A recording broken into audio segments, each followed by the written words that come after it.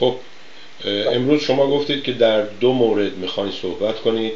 اگر این قسمت اول تموم شد ما هم تسلیت میگیم به خانواده ایشون و جالب بود شما گفتید با وجود این اینها نمی‌خوان چیزی بگن. احتمالا یا همون مسائلی هست که در ایران هممون می‌دونیم که بعضی وقتا فشار حکومت جلوگیری می‌کنه از اینکه این خانواده ها تماس بگیرن یا هر جوری که خودشون صلاح می‌دونه در قسمت دوم برنامه شما باز هم می‌خواین در مورد دوستانی که در رسانه های مختلف برنامه دارن صحبت کنن.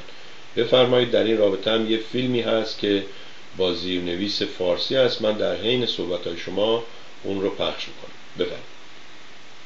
بله. من حالا خدمتتون میگم که کی اون فیلم رو چون تمام بیشتر مطالب به همین فیلم برمیگرده. من در مورد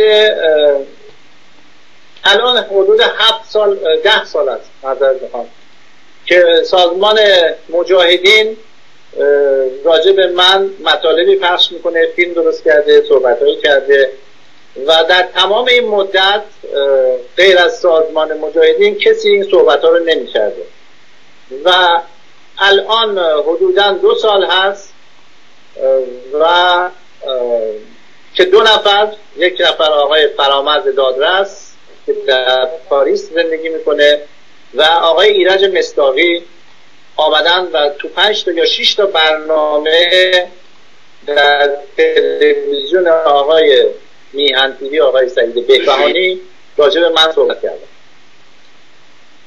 آقای بهبهانی من نمی‌شناسم ایشون رو البته من نه آقای مستاقی رو می‌شناسم نه آقای داردست و نه اینا رو دیدم و نه کاری من با اینا داشته فقط یک بار اگر خاطرتون باشه این آقای دادت در برنامه شما می آمدن من آمدم و یک مطالب ایشون گفته بودن. من حقیقت رو گفتم.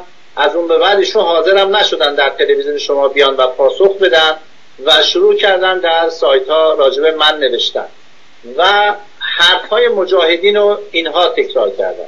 الانم جز این دو نفر و سازمان مجاهدین هیچ کس دیگری نیست که راجب من این صحبت ها رو بکنه یا قبول داشته باشه یا بگن که من معمور وزارت اطلاعات هستم یا ارتباط با جمهوری اسلامی دارم و یا مطالبی که میگن. حالا چرا این دو نفر آمدن صحبت های مجاهدین رو اعلام می‌کنن؟ با اینکه مجاهدین خودشون چندین سال این کار رو کردن و به نتیجه ای نرسیدن جز اینکه دروغهاشون افشا شد جز اینکه آقای ایبونه رو آوردن و ایشون در دادگاه محکوم شد من دلیل اینو این می‌دونم که رژیم جمهوری اسلامی این سری افراد رو میفرسته بیرون برای اینکه هیچ نوع اپوزیسیونی تشکیل نشه و اختلاف بین اینها باشه یا واقعا کسانی که دارن برای وطنشون و مردمشون خدمت می‌کنن اینها رو مردم رو تو شک و شبهه بندازن به خاطر اینکه این صحبت ها بشه و مردم اعتمادی دیگه به هیچ کسی نکنن. من نمی‌دونم منظورتون آقای دادرسه یا منظورتون آقای ایرج مصداقیه؟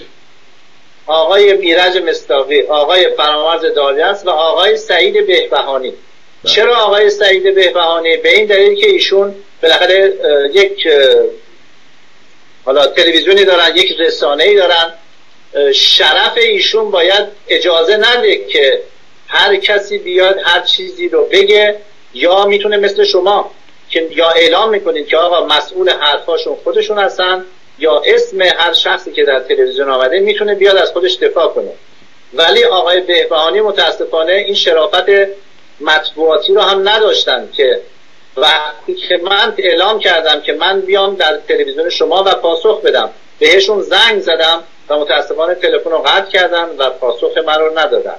چرا باید پنج شیش جلسه یا بیشتر ایشون این دو نفر رو بیارن و بشینن نیم ساعت سه رو راجب من دروغ بگن و این صحبت ها رو بکنن؟ من صحبت هایی کردن پاسخ اونها رو نمیدم به دلیل اینکه اتهام زدن. خود اینها هستن که باید با دلیل و مدرک ثابت بکنن. ولی من یه دونش رو اینجا ثابت می‌کنم.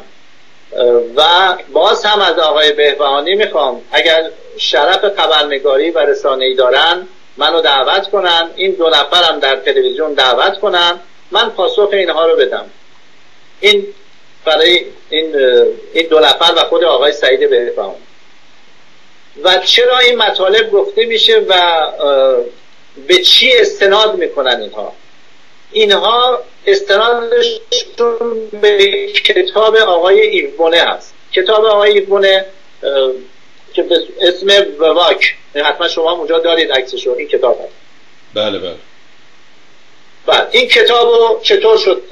به فرانسه هم چاپ شده و در فرانسه به زبان فرانسه. در زمانی که مجاهدین با من درگیر شدن و نتیجه ای نبردن از کارهاشون و تهدیدهایی که به من کردن آقای ایبونه در زمان میتران رئیس ضد اطلاعات فرانسه بوده. وکیل بوده شهردار بوده. و وقتی که در دسته بوده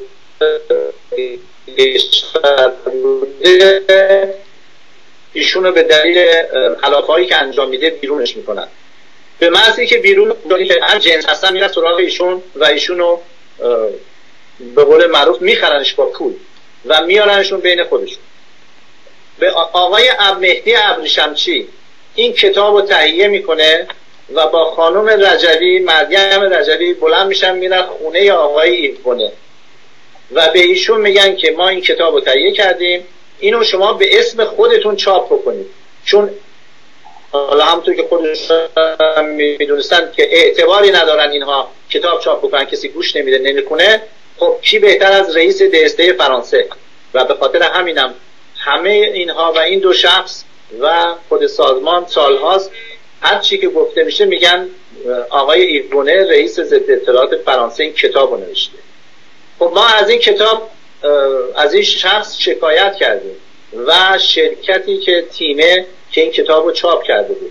در دادگاه آقای ایوونه محکوم شدن و به پرداخت جریمه محکوم شدن و کتاب رو هم جمع کردن. یعنی الان هر شخصی دنبال این کتاب بگرده روی اینترنت در فرانسه یک مؤسسه هست به اسم فنک که این فنک این کتاب رو میفروخت و بیشترین کتاب رو اونجا میفروشه. شما اگر رو اون سایت دنبالش بگردید میگن این کتاب نیست و تجدید چاپ هم نمیشه. و جالب اینجاست که اون شرکت تیمه ای که این کتاب رو چاپ کرده من دنبال اون رفتم. همچین آدرسی وجود نداره. یعنی در اون آدرس همچین شرکتی وجود نداره. وقتی مراجعه کردم به اداره ثبت شرکت ها گفتن این شرکت ورشکسته اعلام کرده خودشو. رفتم اسنادشو گرفتم. درست هفته بعدی که اینا در دادگاه محکوم شدن اون شرکت که هفت تا مدیر داشته مدیر فرانسوی. یعنی هیچ ایرانی تو شرکت نبوده. و این حالبه که چون توی اون سر ثبت شرکت می نویسن که شرکت کار چی بوده. کارشون نشر کتاب بوده برگزاری تظاهرات بوده و چاپ پوستر و این چیزا. یعنی یک شرکت پولشویی بوده برای سازمان مجاهدین که وقتی کار به دادگاه می‌رسه اون شرکت رو بستن. و هنوزم که من هفته گذشته رفتم مراجعه کردم به ثبت شرکت ها هنوز این تموم نشده رسیدگی به این برای اینکه می‌دونن که این هفتش نفر فرانسوی این پول ها رو چیکار کردن و این شرکت چرا بعد از اون حکم دادگاه سریعا بسته شده؟ این آقای ایبونه عکسش هست با خانم مریم رجوی اینو می‌تونید نشون بدین که دقیقا دوستان و شنوندگان بدونن آقای ایبونه که کتاب رو نوشته از دوستان نزدیک خانم مریم رجوی و سازمان مجاهدین هست. و مطلب دیگه ای که هم آقای فرامرز دادرس اعلام می‌کنن و میگن و هم آقای مستاقی این هست که ایشون پرونده داره و در دادگاه محکوم شده. خب اسناد این هست. اگر شماها شرف دارید آقای سعید بهبهانی که سایت داره سایت داره روی سایت ایشون این مطالب رو بذارید. یک دونه از این مدارکتون این همه که شما میگید مدرک دارید از من مدارک رو اونجا چاپ بکنید بگذارید بقیه هم ببینن.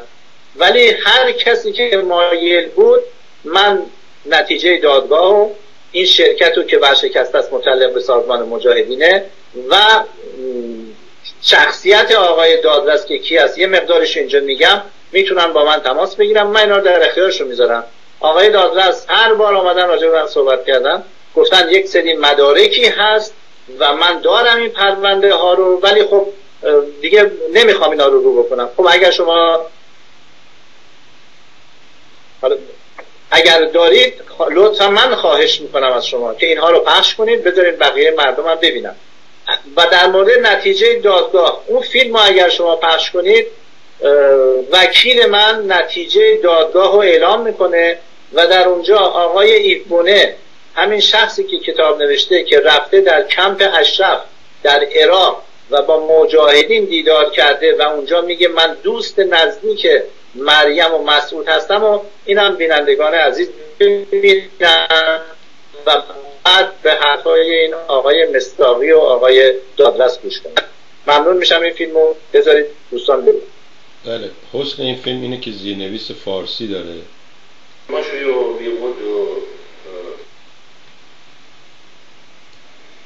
بعد من لینکش رو در فیسبوک هم گذاشتم. دوستان همینجوری که دارید می‌بینید این فیلم رو و می‌خونید زیر نویسیش رو. به اصطلاح من صداشو ببندم چون صداش فرانسوی صحبت می‌کنه و همه فرانسه نمی‌دونم من یادمه اصلا سر ماجرای این کتاب من با شما آشنا شدم. موقعی بود که ماجرای دادگاه بود. بعد حتی دادگاه دستور داده بود که این کتاب ها رو جمع کنن. و به خاطر همین هست که این کتاب دیگه اونجا پیدا نمیشه. نه اینکه مثلا کتاب خوب و با ارزش و پرفروشی بوده. دوستان از شما سوال می‌کنن و اجازه بدیم من بگم ما چندین بار با شما مصاحبه کردیم. سابقه شما گذشته شما توی اون مصاحبه ها هست. می‌تونن روی یوتیوب یا روی بایگانی تلویزیون مردم ببینن. ضمنا آقای لطیف زمانی از انگلستان نوشتن که بهبهانی دروغگو است و خود منم اینجا سالها ایشون رو میشناختم که یه شخص معتاد و از دروغ گفتن هم هیچ عبایی نداره. اونهایی هم که سوئد ایشون رو میشناختن میگن که از سوئد هم با کلاه گذاشتن سر مردم به اصطلاح فرار کرده و یک رادیویی هست اونجا به نام کیان ایران. گفت یه دفعه ممکنه درباره بهبهانی صحبت کن خب آقای لطیف زمانی باز میگه لطفا بخونید. من حتی آقای مصباح یه چیزی نوشته بود از نایروبی آفریقا اونو پاک کردم. آقای مصباح شما که خودت برنامه گذار و چیز بودی وقتی با یه نفر داریم مصاحبه می‌کنیم شما نباید یک خبری رو اونجا بنویسی. خبر جاش قسمت دیگه است تو صفحه خودتونه و الی آخر. باز آقای یوسفی میگه پرفروشترین کتاب خاطرات جنگ های خاک های نرم کوشک کوشک نام دارد یا نمی‌دونم در اینجا فعلا آقای یوسفی نه مسئله کتاب پرفروش هست نه مسئله این مسئله صحبت های آقای شادانلوز لطف کنید در این مورد صحبت کنید و واقعا من بعض وقتا از این دوستان یکم ناامید میشم. یه جایی از صحبت های این فیلم زیرنویس نداره. دلیلش هم اینه که وقتی صحبت می‌کنن چند تا جمله باید گفته بشه تا بعد زیرنویس ها نوشته بشه.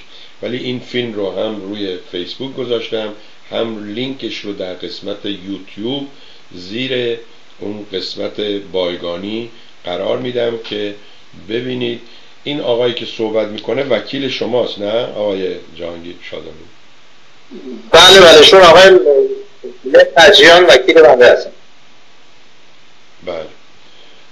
آقای لطیف زمانی میگن که بهبهانی he has a lot of unpaid check and run away from Europe. میگن ایشون به تعداد زیادی چک های پرداخت نشده دست مردم داشت و از اروپا به اصطلاح در رفت. این هم ماجرای آقای بهبهانی خب بله این فیلم حدود ده دقیقه است. تا حالا حدود سه دقیقه و نیمش پخش شده. خیلی خوشحالم که زیرنویس فارسی داره. شما می‌تونید صحبت بله من مخصوصا بله. من مخصوصا اینو دادم این کار انجام بدن که همه که اونایی که فرانسه نمی‌دونن اینو ببینن و ببینن که واقعا نتیجه دادگاه چی بوده. برای اینکه الان ده سال مجاهدین میگن ما دادگاه رو بردیم. البته من چه ربطی به مجاهدین داره؟ آقای ایرگونه بوده و باخته و جریمه پرداخت کرده و متاسفانه این آقایون این دوستان و این کسانی که جمهوری اسلامی به نظر من پشتیبانی می‌کنه اینها مرتب میان میگن که شادانلو محکوم شده دادگاه و ایرگونم در اون دادگاه برنده شده. آقای شادانلو تو همون دادگاه یه جایش مثل که یه صحبتی می‌کنن و آقای ایبونه حتی خبر نداشته که تو کتاب چی نوشتن. درست میگم؟ درست یادم هست؟ بله بله. حتی من از ایشون خواستم که اسم منو بخونن.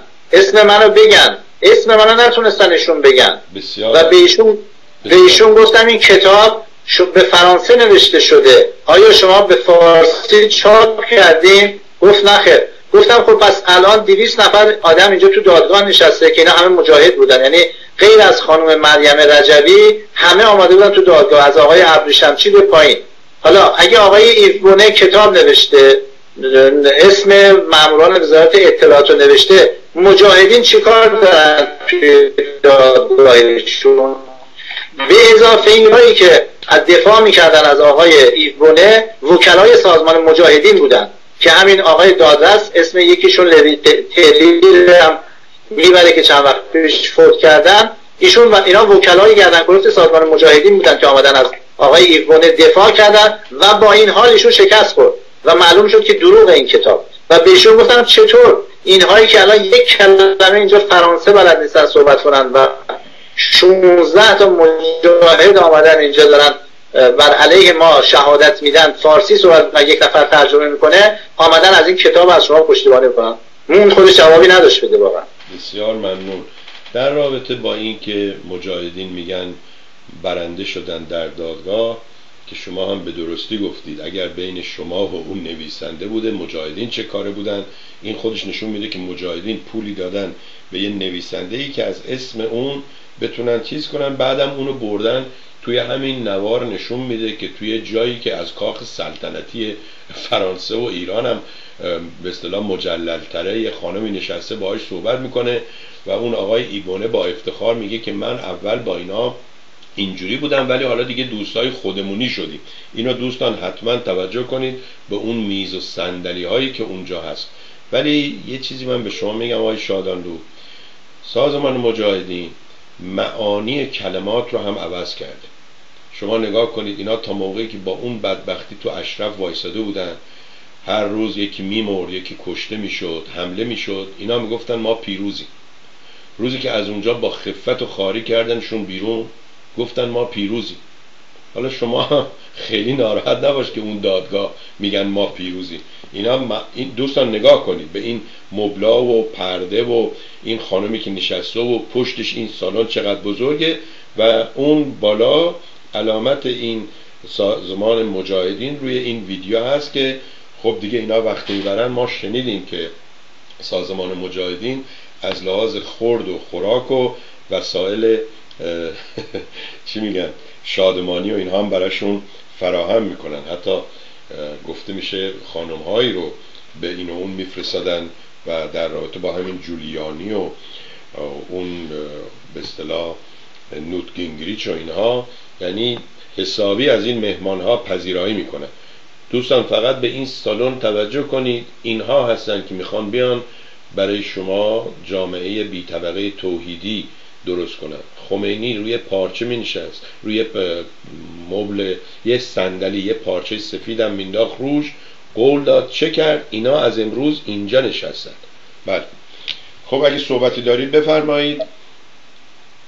آقای بله این سالونی که سالونی که شما بردید گفتید و میز صندلی این در همون محل کمپ اشرف دایر بوده و اینجا محلی بوده که خانم مریم رجبی و مسئول رجبی برای مصاحبه هاشون می آمدن و خبرنگارایی که از بیرون میادن اونجا از اینها پذیرایی می‌کردن که از آقای ایبون هم اونجا پذیرایی کردن و خود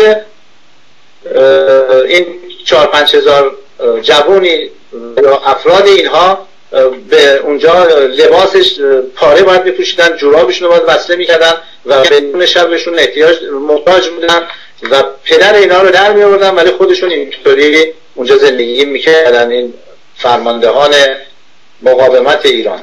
بله توی فیلم ها و مصاحبه ها دوستان میگن که جورابا رو روزهای زوج این پا اون پا عوض می‌کردن که به اصطلاح بیشتر دوام بیاره. بعدم ویدیویی هست نشون میدن که به اینها می‌گفتن خوراک نداریم ولی برای خودشون چه وسایل و چه خوراکایی بوده. ضمنا نوشت اینجا که این آقا گفته بود ما انقدر با مریم خانم خودمونی شدیم که حتی بعد آمد در نورماندی در منزل من. خب آقای لطیف زمانی می‌پرسن دعوای کی با کی؟ آقای لطیف زمانی همه اینا رو نمی‌تونیم ما توی یک جلسه به شما بگیم. لطف کنید یه مقداری ویدیوهای قدیم ایشون رو قبلی ایشون رو نگاه کنید.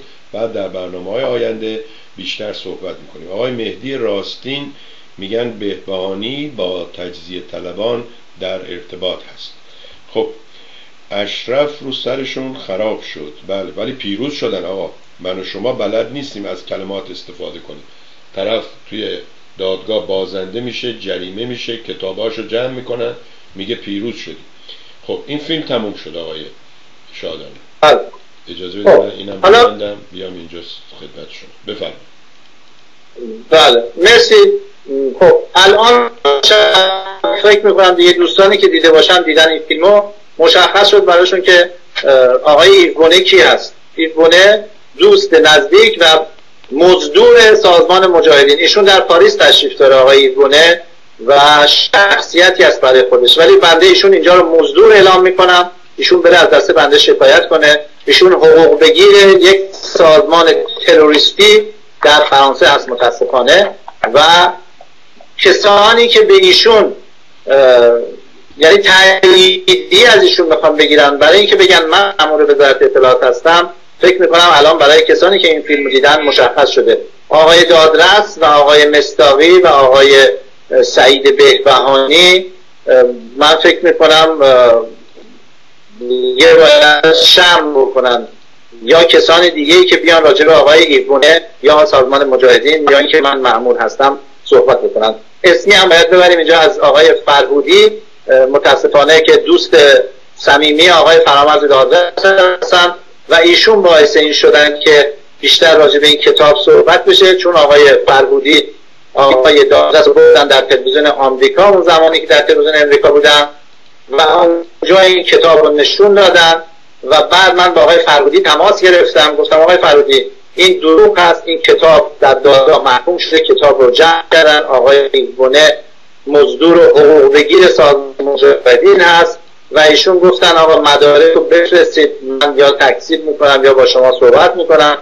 مدارک که فرستم ایشون نه تکسیب کردن نه با من صحبت کردن من صحبت کنم و از تلویزیون آمدن بیرون. بازم با ایشون صحبت کردم پیام دادم. الانم که در تلویزیون بیان هستن برایشون پیام دادم. ولی متاسفانه اینها احتمالا به جایی وصل هستن و حاضر نیستن که حقایق رو بگن. و حالا میگم شما هستین و این بینندگان هستن و این مطالبی که گفته شد. ولی کوتاه راجع به آقای فرامرز دادرس هم من صحبت بکنم که ایشون خودشون رو به عنوان کارشناس نظامی یا کارشناس مسائل سیاسی و امنیتی معرفی کردن. البته یک بار دیگه من گفتم ایشون چند تلویزیون می بردن دیگه نبردنشون به خاطر دروغایی که میگن. ایشون پادوی سرویس های اطلاعاتی هستن در فرانسه. یعنی کارچاپ کنن همون صحبت هایی که راجع به من کردن در برنامه آخرین برنامهشون شغل ایشون هست ایشون در مغازه های فرانسه دوزه. دیدیم در دروای میسن کسی سرقتی می‌کنه دستگاه بوغ می‌زنه می‌گیرن. ایشون کارشون این هست در پاریس. حالا آمدن خودشون رو به عنوان کارشناس و ارشد چیزهای نظامی یا سیاسی معرفی کردن یا امنیتی این دروغ هست. و یک مطلبی که آقای هومر آبرامیان بنیانگذار فرهنگ ایران در بنیاد فرهنگ ایران در امریکا راجع بهشون نوشته من اینو می‌خونم براتون و متوجه بشین که آقای فرامرز دادرس کی هستن. اینها یه گروه هستن. ایشون هست. آقای مستاقی هست. اون آقای در هست. کیه پسر جوونی که دانا؟ آقای امید امید دانا هستش. آقای پیمان عارف هستش. اون خانم امین هست که الان در اسرائیل مامور جمهوری اسلامی است و در اسرائیل فرستادنش اونجا. آقای پیمان عارف چه خبر؟ پیمان عارف آمده ویزا گرفتن آمده در آلمان الان. ویزا استراحه برگرده مگر اینجا از همون حقوق بازی هایی که می‌کنه بکنه و بمونه. ولی فعلا در آلمان هست. اینها همه با هم در تماس هستن. سه چهار نفر دیگه هم هستن. دو نفرشون در سوئیس هم یک نفر دیگه باز در آلمان که با هم تلویزیون آقای بهبهانی تازگی مصاحبه می‌کنن. یک نفر هم در سوئد.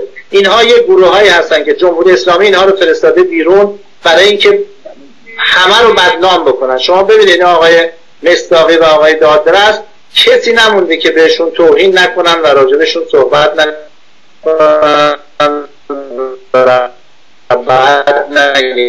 آقای بدون مدرک بله.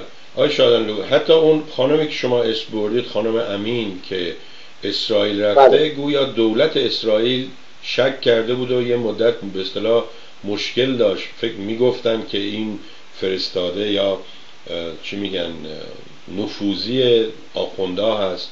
نمی‌دونم حالا ماجرای اون پرونده و اون کیس به کجا رسید. ولی دوستان مواظب باشید یه مقداری هم تحقیق کنید درباره صحبتهایی که آقای شادان رو می‌کنه.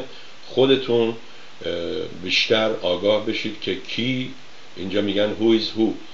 کجا به کجاست کی به کیه و داستان و ماجرای امروز ایران به چه صورت هست. ببخشید من ساکت میشم شما بفرمایید.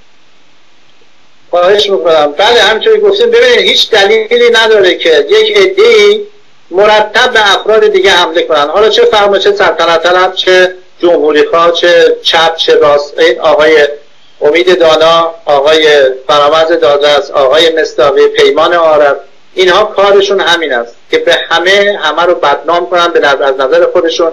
حالا که نمی‌تونن ترور فیزیکی بکنن ترور شخصیتی بکنن. و این کار جمهوری اسلامی است. که چهل سال داره این کار می‌کنه که آدما براندازی رژیم بکنن. آقای فرامرز آقای فرامرز دادست افسر اطلاعاتی بودن اواخر زمان شاه میرن تو گارد جاویدان و از اونجا وقتی که انقلاب میشه میره توی اطلاعات جمهوری اسلامی سال 1985 ایشونو میفرستنش پاریس. در پاریس که میاد اولین کارش اینه که میره دفتر آقای بختیار. بعد از یه مدتی شناخته میشه از اونجا بیرونش می‌کنن. میاد با آقای آبرامیان هومر آبرامیان آشنا میشه که حالا شهرش رو براتون می‌کنم بعدم با آقای مرحوم دکتر ساسانفر مسئول انجمن زرتشتی ها آشنا میشه.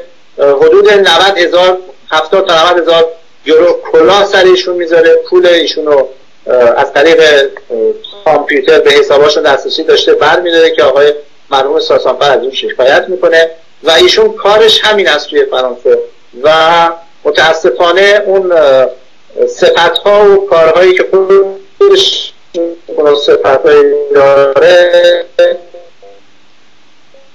آمده بینندگان می‌ذارم و رفتارهای ایشون. آقای هومر آبرامیان بنیانگذار بنیاد فرهنگ اینطوری میگه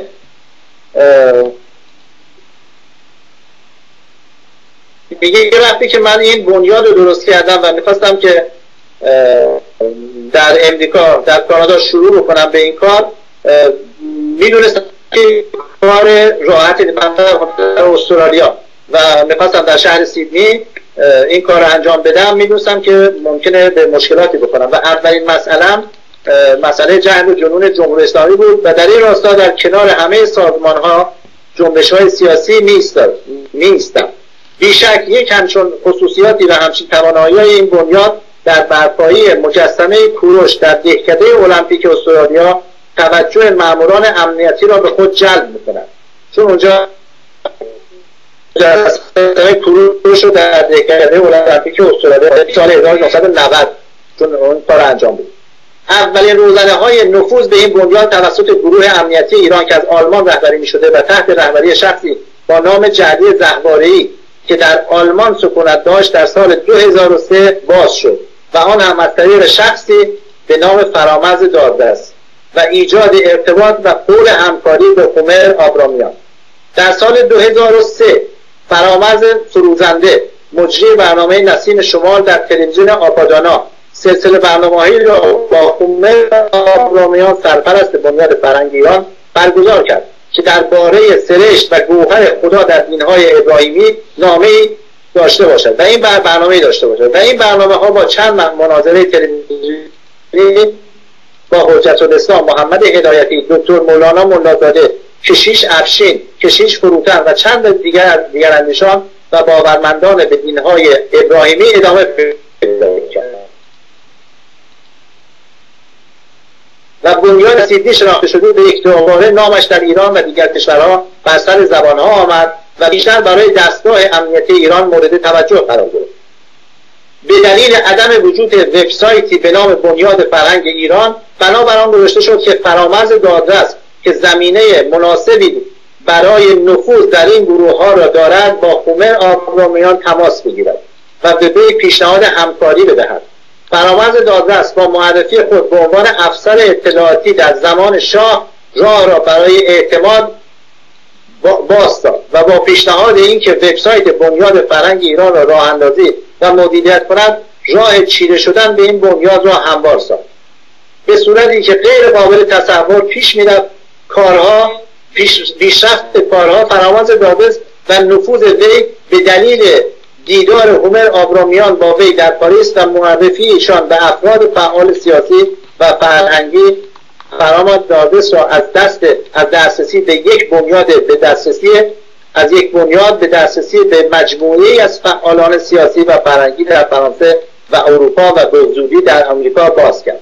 یعنی ایشون میگه وقتی که با من ایشون آشنا شد که قبلا می‌گفت ایشون فقط یه کار انترنتی یا سایت انجام میده با معرفی که من ایشون رو معرفی به این کردم دستش باز شد و با خیلی از سازمان ها ایشون فعالیتش کرد. بعد میگه که فرامرز دادرس توانست وبسایت های دیگری از نویسندگان و فعالان سیاسی را نیز به دست بگیرد و به قول خودش بدون چشمداشت به آنان کمک حالا این تمام این وبسایت ها را گرفته که یکی از اینها مربوط به مرحوم دکتر ساتمانفر می‌شده که از طریق اون پول ایشون رو جابجا کرده بود که ایشون رفتن شکایت کردن. میگه نوشته روزی در پایان یکی از این برنامه ها کسی به نام فرامرز دادرس از پاریس به من تلفن زد و پس از ستایش بسیار از کردوکار بنیاد فرهنگ ایران خود را افسر اطلاعاتی در سامانه پیشین شناسان و پرسید شما چرا یک سایت اینترنتی ندارید تا سخنان خود را به گوش شمار بیشماری از هموطنان برسانید؟ گفتم من خود, خود چنین دانشی ندارم و از میان یاران هم کسی را نمی‌شناسم که چنین توانایی داشته باشد آقای لادس گفته من کار من وبلاگ نویسی است. اگر شما پروانه بدهید من با شادمانی بسیار این کار را برای شما انجام خواهم داد. من ساده دلانه سخنان این مرد را که با آهنگ دوستانه گفته می‌شد گوش دادم و بی آنکه درباره پیشینه سیاسی و کردار او پرسجو کنم پیشنهادش را پذیرفتم. این نخستین گامنامه گام اشتباهی بود که آسیبی بزرگ را در پی آورد. پس از یکی دو ماه به پاریس رفتم و او را با زندیات آله دالفنگ و بسیار از دیگر از استادان و فرزانگانی که نامهای بزرگ این اشتباه دوم. در آن چند روز بیان که به یاد آورم که جمهوری اسلامی با چه ترفندهای جان کوروش آریامنش شاپور بختیار فریدون فرخزاد و پس بسیاران دیگر را گرفته بیان که اندیشه جان خود کنم چند روز خانهش به سر بردم و از خوراکی هایی که به دست خودش فراهم می‌کرد خوردم. اشتباه سوم. هر آدم تیزبینی می‌توانست به روشنی دریابد که فرزندانش دو دختر و یک پسر چشم دیدن پدر را ندارند و به بحانه های گوناگون خود را از او دور نگه میدارند. ولی این چیزی نبود که کنجکاوی مرا برانگیزد. اشتباه چهارم. دیر زمانی از این نگذشته بود که روزی همسرش آسیمف اسم همسرشونه. سر آسیم, آسیم سر تلفن زد و کوشید تا رخ، رخک از چهره این اهرمنزاده بردارد و سیمای راستین او را به من نشان دهد. ولی شوربختانه من گوشی برای دهان اون نبودم و با این باور که فریادهای او پیایند ناسازگاری های یک زندگی زناشویی است. پروانه سخن گفتنش ندادم. زن بیچاره گریه کنان فریاد می‌کشید که شما باید سخنان را بباورید. این فرومایه دیست در پیکر آدمی. در بیرون از خانه از حقوق و برابری زن و مرد سخن می‌گوید ولی در خانه مرا کیسه بوکس میانگارد. او از فرهنگ ایران سخن می‌گوید ولی کمترین نشانی از فرهنگ ندارد. برای اینکه خود را نامسلمان نشان دهد به دروغ می‌گوید که مادرش ارمنی است. برای اینکه سری در میان سرها باشد به کسانی که نمیشناسندش می‌گوید از یاران نزدیک شاپور بختیار بوده. او با هزار رنگ و نیرنگ زندگی من فرزندانم رو به تباهی کشانده و امروز در کنار تباه کردن شماست. به هوش باشید. این مار خوشخط و خال زهرش بسیار کشنده است. من فراج های این زن بینوا را برآمده و از ناسازگاری های میان او شوهرش به شما آوردم و به سخنانش بها ندادم. پس از چند ماه زن این زن توانست بیماری به یاری پلیس شوهر دیو, دیو صفت خود را از خانه بیرون کرده و دامنش را از چنگال اهریمنی او پاک سازد. البته یک چیزی هم اینجا نوشتن که ایشون یعنی شکایتی که خانم کرده بوده به پلیس این بوده که موهای ایشون رو با ماشین شماره چهار تمام زده بوده یک باری که ایشون رو می‌زده. که البته اینا قشنگ هم نیست گفتنش واقعا وارد مسائل زندگی بشیم ولی خب اینا رو اینجا نوشتن. حالا من از اینا می‌گذارم چیزای دیگری که نوشتن بعد میگه بعد از چندی که آقا از آسیب افتاد در پاریس به آین زرتوش درآمد و با هزار و یک ترفند خود را به انجمن جهانی زرتشتیان جا کرد و به نام منشی انجمن برگزیده شد. همون کاری که با مرحوم دکتر ساسانفر انجام دادن و اون کلاه بزرگ سر ایشون گذاشتن. فرامرز دادست برای راه اندازی و ادامه کار تارنمای بنیاد فرهنگ ایران پولهای کلانی از من گرفت. ولی با ترفندهای ویژه این تارنما را به نام خودش ثبت کرد. رسید پولهایی که بابت این به حساب بانکی ایشان وارد شده همه در بایگانی بنیاد فرهنگ ایران نگهداری می شود از چند ماه پیش بخشی را زیر نام پرسش و پاسخ با فرامرز دادرس به روی تارنامه فرهنگ ایران باز گذاشتم. بی آنکه کمترین دانشی در زمینه فرهنگ و تاریخ ایران داشته باشه و خیلی چیزای دیگه که حالا من دیگه اونا رو نمی‌خونم و ایشون کارش به نظر من حالا غیر از این همکاری هست. با جمهوری اسلامی و سازمان مجاهدین خلق. بسیار ممنون. دوستان میگن که شما چون با مجاهدین در افتادین مجاهدین هر کسی رو که یک کم به اصطلاح حرف حقیقت بزنه و باشون در بیفته مزدور و خائن و اینها خطاب می‌کنن. ضمنا اگر این چیزایی که خوندید یا عکسایی یا چیز دیگه رو می‌خوان اضاف کنید حسن فیسبوک اینه که شما می‌تونید هم روی فیسبوک خودم این برنامه پخش شد هم روی فیسبوک مردم تیوی. می‌تونید اونجا لینک ها رو اضاف کنید عکس هایی رو بذارید و دوستان با شما در تماس باشن. من در حین صحبت های شما صفحه فیسبوک شما رو هم نشون دادم. اجازه بدید یک بار دیگه هم نشون بدم به دوستان که اونجا با اسم جهان شادانلو نوشته شده و این هست. عکس شما رو می‌تونن اونجا ببینن. جهان شادانلو و عکس کاور پیجش هم عکس دکتر محمد مصدق هست. خب اگر باز هم صحبتی دارید بفرمایید و ما گوش میدیم. اگه نه که این ویدیوها تا یکی دو ساعت دیگه روی یوتیوب هست و هر روز از تلویزیون مردم پخش میشه تا حداقل یک هفته یا تا برنامه بعدی با آقای شادان بفرمایید آقای شادان بله من خیلی کوتاه مجددا درخواست می‌کنم از آقای سعید بهبهانی که وظیفه ایشون هست. به عنوان یک رسانه وقتی اسم من پنج بار شش بار تو برنامه ایشون برده و اون دوستان آوردن به من این اجازه رو وقت بدن که من اونجا صحبت کنم در این مورد. و این آقایون هم حاضر باشن هر دو. و اگر نه در ازشون تقاضا می‌کنم.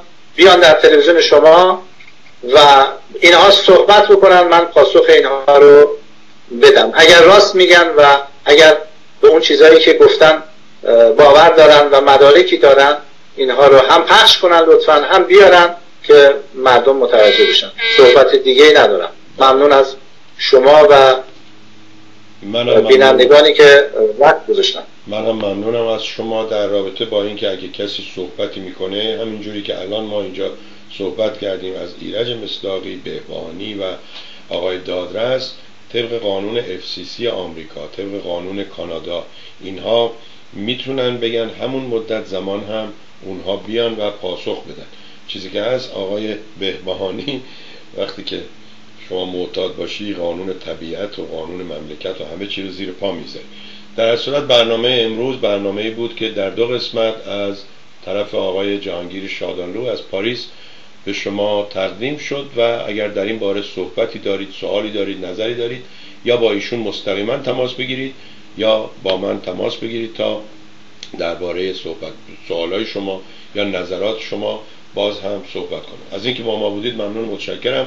برنامه ها رو پی می‌گیریم. آقای شادان خیلی ممنون که با ما بودید و اگر باز هم احتیاج داشتید که برنامه داشته باشید صحبت کنید خبر بدید تا من از قبل به دوستان بگم و با شما باشم مرسی که با ما بودید.